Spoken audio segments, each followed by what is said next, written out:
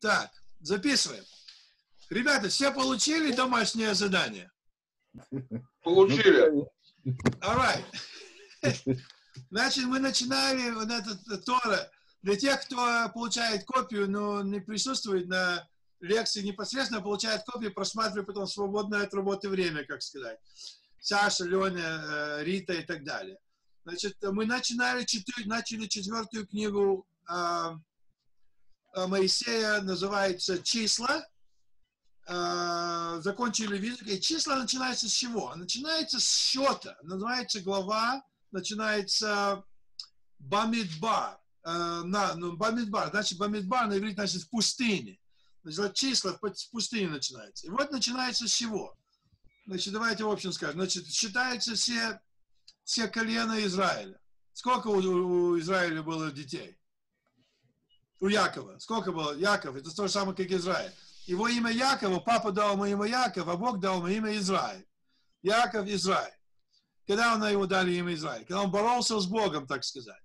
И вот э, сколько у него детей было? Первый вопрос. Это, это, это не, не один из пяти вопросов, это дополнительные вопросы. Сколько было у Якова детей? Одиннадцать? Двенадцать?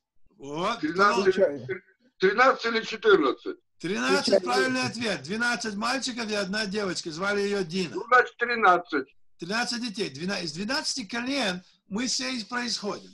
Значит, будет считать. После этого счет, счет, счет, счет, считаются, все считаются. Вот после этого, э, э, после счета, ну, в общем, все идет в счет.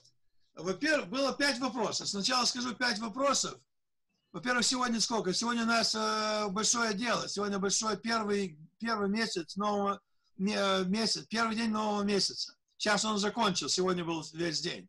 То есть месяц Ияр закончился, месяц Сиван начался. Вот, а, э, а так у нас конец мая, сегодня воскресенье, 8 часов вечера по израильскому времени. Было пять вопросов по этой главе. Почему в, в подсчете показаны какие, какие э, Какие племена? Женька, у тебя перед собой Тора есть? Витек, перед собой Тора есть? Ну, какая? Почему ты, ты спрашиваешь, почему в подсчете показано 11 племен, а не 12? Да, ну, давайте посчитаем, помню, это... давайте посчитаем, посмотрим. Рувен, Симон, Записываю. Иуда, Исахар, Зебулун, Йосеф, Беньямин, Дан, Ашер, Гад, Нафтали. Сколько? Не успеваю записывать. 11. 11. Почему 11, а не 12? Ну, я вспоминаю старинную притчу. Как-то, вот, может, вы тоже слышали. Потому что 12 считали. Когда-то Хаджан Средин поехал на рынок. Ему сказали, вот тебе шесть ослов, поезжай и продай их. Ну, нет, то, Женька, только можно говорить по Торе. Свои, свои, свои мудрости мы нет, не, нет, не будем... я хочу объяснить свою мысль. Вот Ответ только на... надо идти сторы. Столько сторы. Короче, 12 колено считало всех остальных. Себя а, это, это угад. В общем, а, первый... Окей, давайте сначала все вопросы скажу. Первый вопрос, сколько, почему по счете было 11 племен, а не 12? Потом, почему посчитал. численность, общая численность населения была намного меньше, чем во время Египта. Потом назовите маму каждого племени. Потом, почему 40 лет в пустыне мы про, проходили, хоть от, от Египта до Израиля. Сегодня, между прочим, э, меня с Америки, женой, у них она по женой по зуму говорила, они салмы читают каждое воскресенье. Ее спросили, сколько от Берешева идти до Синая? 200 километров. Примерно где-то, Женька, примерно где-то 300 километров. То это где-то машина, ну сколько? Ну, э, ну, 5 э, часов езды где-то в таком духе. Ну, а в Торе написано 11 дней шагом.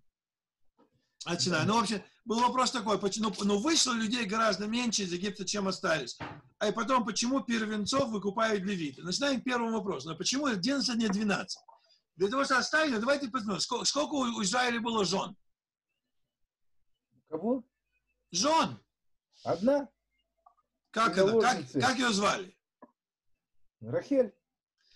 Вот уже близко подходит. Вот видишь, что значит пропускать уроки. Вот после ты сочковал с последнего урока, вот ты, не, вот ты не пропустил. У Израиля было четыре жены. Старшая ее звали Лея. Он когда пришел к Ламану, своему а, дяде, и у него было две дочки, ее звали Лея и Рахель. Мы это учили в бытие. У нее каждая была как бы ну, наложница или обслужанка, помощница. Ее звали одну Билха, а другая Зилха, Зилпа. Он женился на всех четырех. Как он там на них женился, какой последовательности, это другой вопрос. Факт то, что было четыре. От, первой, от одной жены, Лея, у него было шестеро, у него было шестеро детей. Рувен, Шимеон, Леви, Ехуда и э, Исахар и Зебулон. Шестеро. У Драхели у него было двое. Какие двое? Остат, оставшиеся. Йосиф, от которого был вицерой Египта, Йосиф, и Беньямин. Значит, 4 по 2 это 6. Так, 4, 4 и 2 это 6 улей, и 2 у Рахели это 8. У Зилпа, которая была помощница Леи, у него был Гад и Аша, двое детей. И Билха, помощница э, Рахели, Дан и Нафтали, то есть 2 и 2, 4 и 8, полностью 12. Значит, из этих 12 детей самый первый Рувен. Первенец считается всегда особые права. Особые права. Первенец должен все делать дома. Показывать пример всем. В то время у людей, э, ну, до сих пор сейчас в больших религиозных семьях там 10-15 человек детей, вы сами знаете. И как первенец какая работа? Ну, первая дочка там маме помогает по хозяйству, а мальчик там помогает в поле. Давай там, Йосиф, не бегай сюда, а ну сиди, не, не, не, не балуйся. То есть у первенца обычно большие, большие, ну, он как бы папина правая рука. И первенец должен помогать. А что значит правая рука у евреев? Самое главное, что у нас? Тору учить. Тору учить. Вот тебе 50 очков за ответ. Уже 50 очков получил. Записывай. Тору учить. А кто должен Тору учить? Если в то время ребята работают на земле, ну когда мне Тору учить? Я занимаюсь, вот по горам Женька лазит каждый день. Когда Тору учить? Вот сейчас сидит учит. То есть, значит, папа говорит, ну я пока там буду там и самое, коров там доить сюда, ты давай ребятам объясни главу. Да.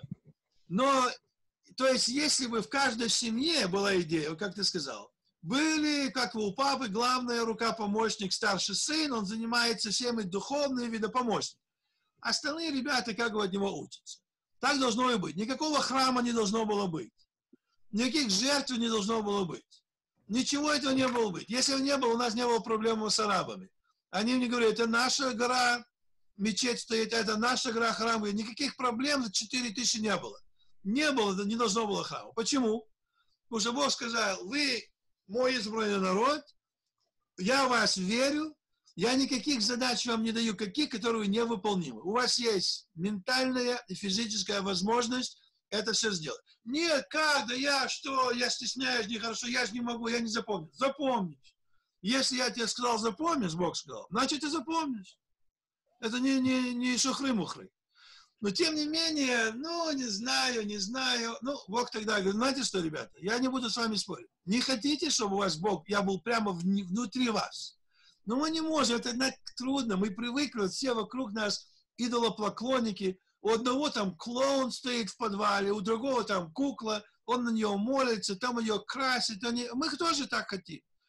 Бог говорит, ну, ребята, я не могу так делать, но в крайнем случае сделаем так. Будет вам храм, вы хотите храм, чтобы него конкретно могли прийти, принести овцу, ее пожар, пожертвовать, пошел домой, пришел домой и сказал жене и детям, ну, не нужно ничего волноваться. Я сходил в кран, мы откупились, все, грехов нету. То, что я Сереже соседа украл корову, я помолился, ее отдал, мне взяли жертву, все нормально, все нормально. Все в порядке. Вот, все довольны. Хорошо, хотите так, хотите. Если не можете, духовно это дам вот так. Но у вас тогда в каждой семье должен быть первенец, которым этим делом занимается.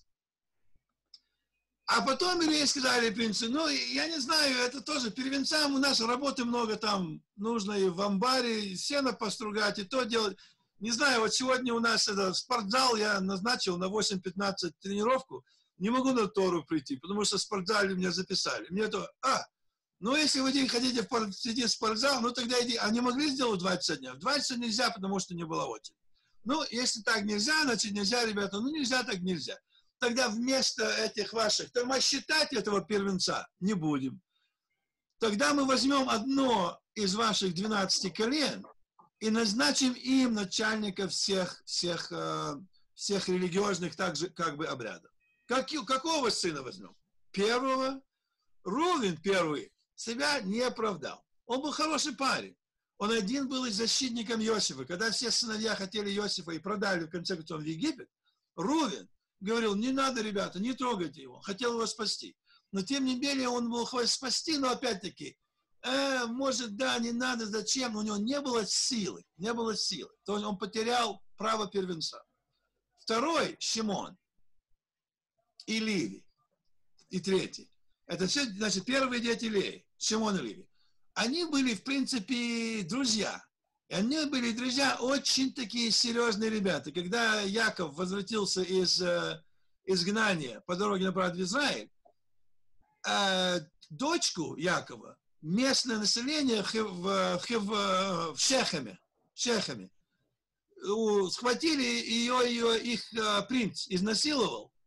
И потом пришел, имел наглость, и после этого насилования пришел к нему и сказал, Яков, я хочу на ней жениться, она такая хорошая девочка.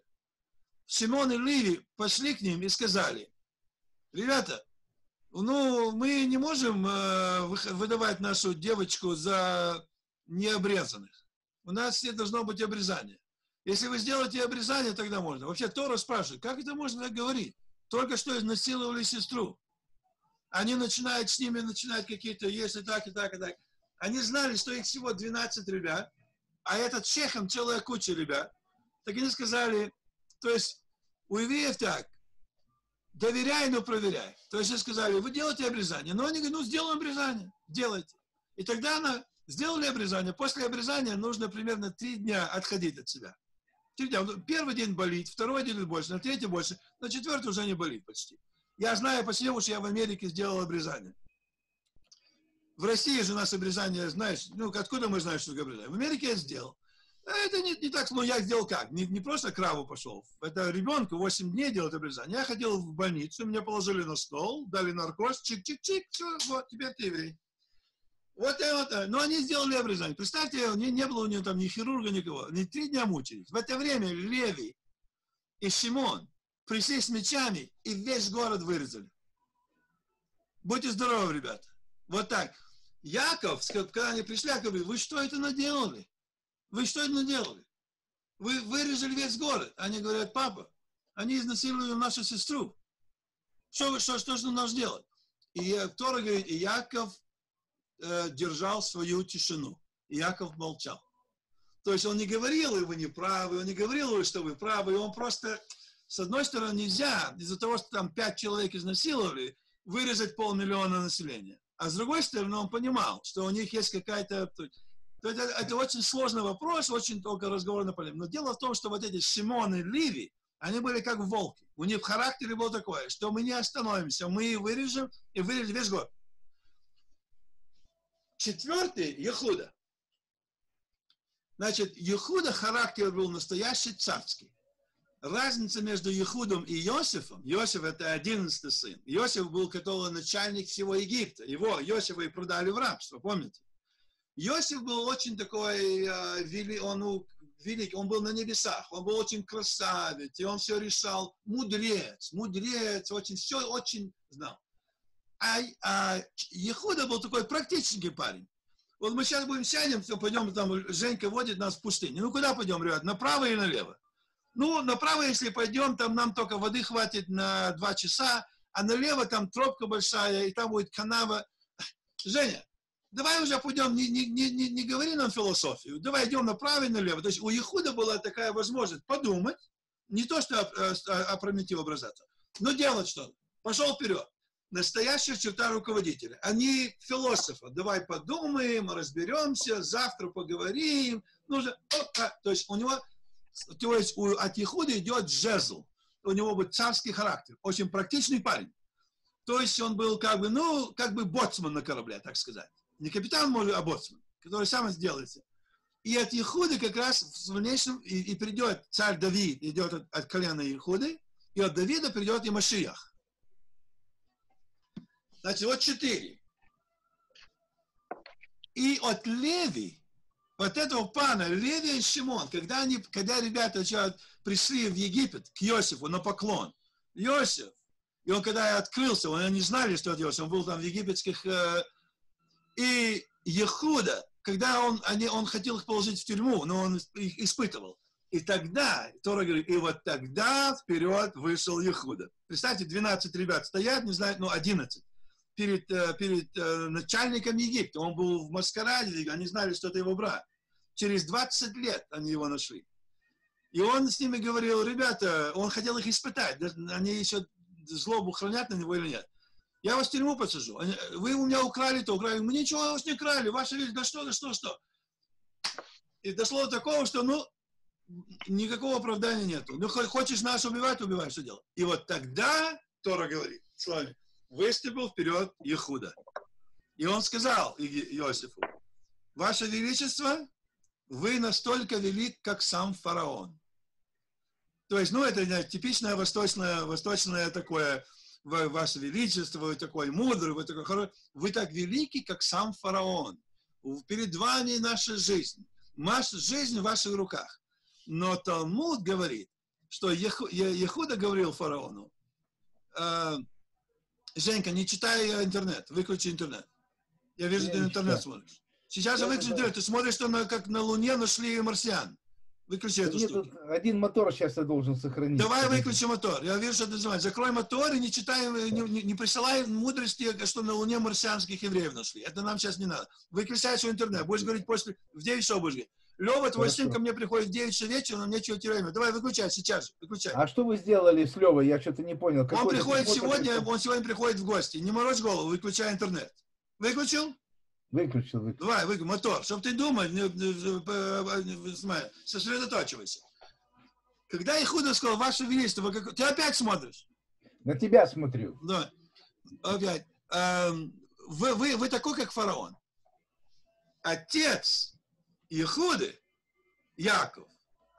Отец Якова Исаак. Отец Исаака Авраам. Авраам и Сара, то есть он прадедушка Ихуды. Он, когда в Египет пошел, его фараон, фараон увидел, какая красавица Сара, и он цапал себе в дворец. И за это, это Бог наказал его парчой. У него лишай по всему телу просто, то, что он, что он него не трогал. Но Авраам и... был не против, насколько я помню. Что-что? Авраам-то был не против. Это другой вопрос, но он, с, с Сарой отношений у фараона не было. Он его, Бог предотвратил, лишай не пошел. То есть за то, что он покушался на Сару, Бог послал на фараона Лишаев. И фараон сказал Аврааму, давай уходи, я тебе дам в подарки, только, только, только не... И Иосиф, вот теперь Ехуда его напоминает Иосифу. Ваше Величество, вы как фараон. То есть, вы помните, с, с вашим прадедушкой, мой прадедушка сделал. Ага. Так что осторожно с нами играйте. Но да. сказал ему, вот, э, у меня крыша та еще, да, типа? Да вы не помните, да, Ваше Величество. Но ему сказал, как вы такое величество, у вас перед вами есть Египет, вы как фараон. Он по намек его дал очень тонкий. И вот, вот этот поступок, вот в такой критической ситуации, кто, должен кто-то выйти вперед и вести, когда у всех получается затор. Ехуда сделал. Много лет дальше, вот когда они начинали выходить из Египта, дошли к воде, и все говорят, как будем теперь воду? Египтяне сзади на нами, сейчас они всех убьют, что делать? Сюда перейти через воду. О! Один из них, наш сон, тоже, это лидер племени Ехуда, пошел в воду. И Мидраж говорил, он пошел в воду, и как вот, зашел в воду, и что сделал своя? Вода расступилась? Ну да. Нет, не расступилась. Как? Вот самое этом чудо. Он прошел дальше до колен, вода не расступилась. А все на берегу смотрят и что думают? Ну все, все потонет парень. Он продолжает дальше. Теперь вода до шеи, потом до, до рта, потом до носа. И в это время море расступилось. Это тоже качество руководителя. Это качество руководителя. Это не только голая вера. Это, вот это был Ихуда. Но Ливи, его, его брат, то есть Ихуда четвертый, Ливи третий, Ливи у него была такая настырная, он любил Симеоном Поэтому, когда он пришел, Ливи и Симеон Иосиф разделил. В тюрьме и посадил в разные камеры, чтобы они не советовались друг другу.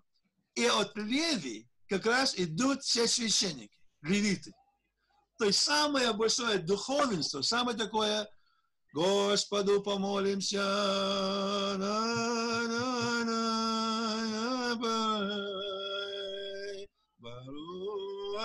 Адонai Eloheinu melech haolam,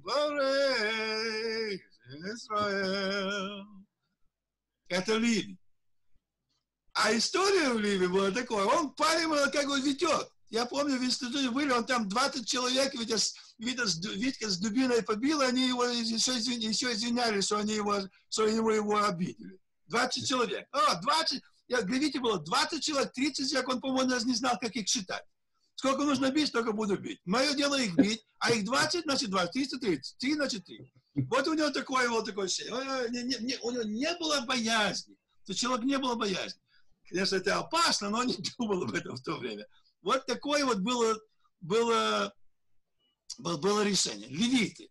И вот из этого, с такого характера, вот с такого характера в молодости, человек сформировался до того, что он теперь, когда он был начальником по самому духовенству, он знает, какой у него, какая у него душа. Он знает, какие у него возможности. И эти возможности он теперь, через, через много лет, через 40-50 лет после исхода, он теперь эти качества делает не на драки, а вот на духовные вещи. Они лидеры всего духовенства. Значит, Бог теперь, возвращаясь к нашему вопросу, Бог говорит, ребята, поскольку вы не могли, я вам дам начальство, духовное начальство. У вас будет и недуховное начальство, как парки делать, делать заводы, дороги, мосты. Это занимается царская власть, Ихуда.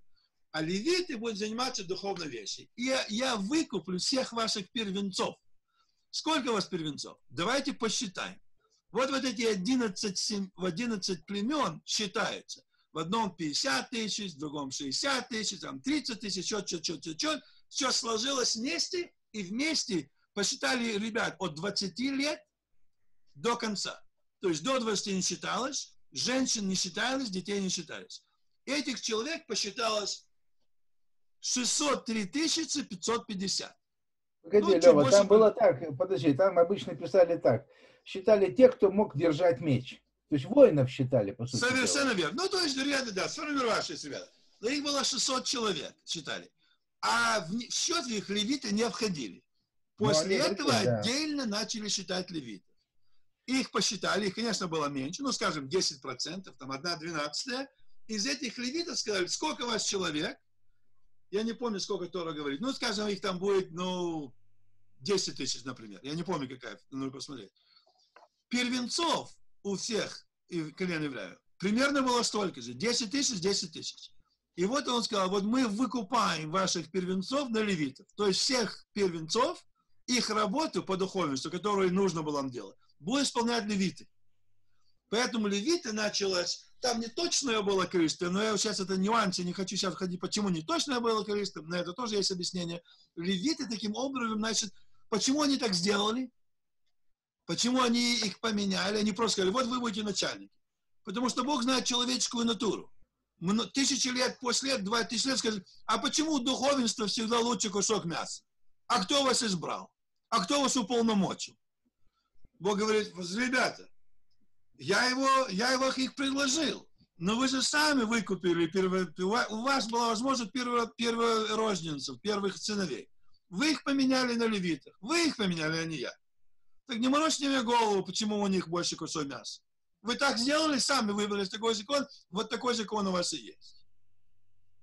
Это вопрос, на, это ответ на первый, почему их 11, а не 12. Второй вопрос. Почему ну, общая численность...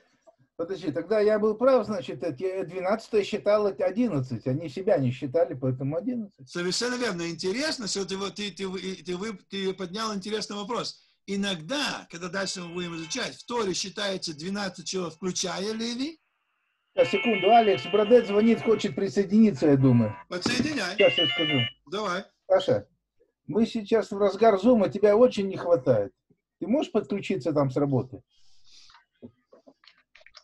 Ну ладно. Ты вот все выразили сожаление о твоему отсутствию. Ну, понятно. Скажи, запись пошлем ему. Ага, ну привет тебе от всех. Ну давай, бай. Саша звонит, всем привет. Он не может, у него, он один там в лаборатории, все на нем. Но я тебе скажу, это очень большое дело, что он позвонил. Ну да. Очень большое Ну, дело. ну, это, Да. видимо, сказывается, да. А как же? Это очень важно. Смотри, значит, опять-таки, а, 11 иногда Тора считает всех 12, включая Ливи, а иногда 11, но из Иосифа двое его сынов, Ифраим и Наша, заменяют Ливи. А почему Иосиф? Ну, потому что Иосиф как бы был избранный любимец Якова, и два его сына как бы заменили, чтобы, чтобы общее количество 12 не изменяло. Почему это он любимый сын? Хорошо ли это или плохо иметь любимчика в семье? Не очень хорошо, потому что из-за этого и такая вражда в начале, поэтому его продали из-за того, что он, он был его, у него так бы любимчиком.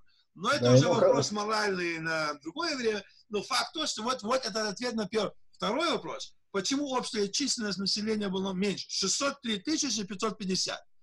Если, как Женька сказал, если малышей там не считали, ну, может быть, миллион. Женщин, может быть, 2 миллиона. Ну, вместе где-то 2,5-3 миллиона. А сколько евреев было в Египте? Ну сколько их туда ушло? Ушло 3 самом начале. миллиона, вот мы сейчас посчитали. Примерно. Нет, 3 в, в самом начале сколько за- пришло в Египет, когда... Вот такой вопрос. Сколько пришло в Египет? Витек, помнишь? Не помню. Пара Быть- сотен в- пришло, нет? Бытие. В самом конце бытия, в самой последней книжке бытия 70 человек. Яков, Ну, его 12 детей, их жены и там еще несколько. Примерно 70, не примерно, точно 70 человек. Из этих 70 человек до 210 лет, вот можете посчитать на бумажке, из 70, вот Женька любит эту самую прогрессию геометрическую, из 70 человек до 210 лет получилось примерно 10 миллионов.